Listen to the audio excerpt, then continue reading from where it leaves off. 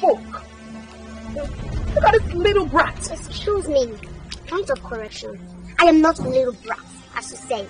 My name is Asa, aka Asampeke, aka Opolo Karisia, aka Nkeke Inachu Gbeyoso, aka Udubune. Oh, shut up with those your AKAs. Look at this tiny thing. Listen, if you try as much as do this nonsense again, I will have you killed. Will you keep quiet?